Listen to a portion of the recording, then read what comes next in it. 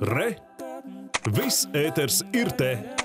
Šā gada pirmajos sešos mēnešos valsts ugunsdzēsības un glābšanas dienests visā Latvijā reģistrējas gandrīz tūkstošu ugunsgrēku dzīvojamajās mājās. Visbiežāk nelaimes izceļas daudz dzīvokļu namos.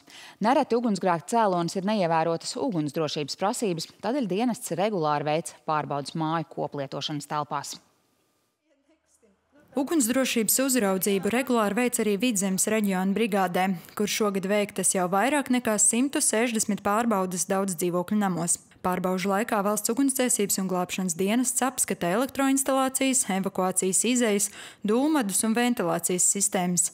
Nereti fiksēti ar evakuāciju saistīti pārkāpumi. Būtisks aspekts ir evakuācijas ceļa aizkrāmēšana ar eh, sadzīves priekšmetiem, mantām, eh, kā arī makulatūras kastēm, eh, kas bieži vien, pieņemsim, no izsmēķiem var aizdegties, par ko cilvēki nepadomā.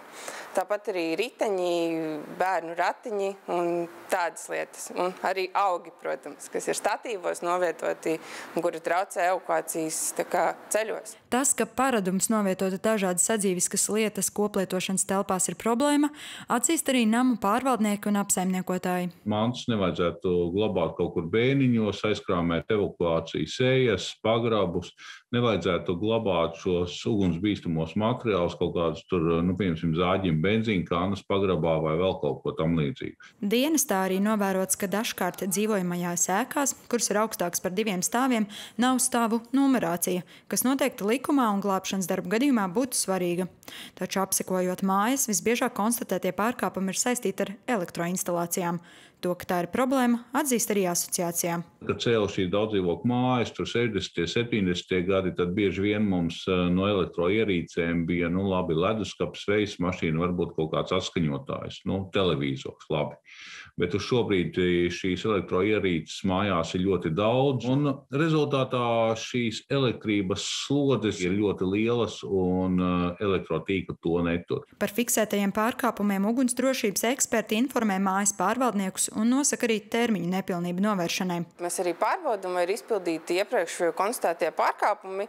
Un pēc konstatētiem, piemēram, nav tā, ka sistemātiski netiek izpildīti. Protams, mēs arī saprotam to, ka elektroinstalācijas mērījumus mēs ne, neizpildīsim mēnešu laikā. Asociācijā atzīst, ka šādas pārbaudas ir efektīvas un disciplinējošas. Taču ugunsdrošība daudz dzīvokļu namos ir arī jautājums par izpratni. Ir cilvēki, kuri nenāk uz sapulcēm, kuri nelasa šos varbūt paziņojumus izliktos kāpņu telpās, kuri neņa, nelasa ēpastus nosūtītos par šīm tēmām. Un, nu, ja otra puse neuzklausa, tad uh, viena puse jau arī nevar panākt viena pati kaut kādā veidā no nu, otras puses sapratni. Nu, ja otrs puses neuzklausa. Bet pakāpeniski tāpatās eh, kaimiņi arī runā saviem kaimiņiem, un lēnām šī sapratne veidojās. Vugda atgādina, līdz ar apkuras sezonas sākšanos īpašu uzmanību jāpievērš arī daudz dzīvokļu māju dūmvedu tīrīšanai un tehniskajam stāvoklim.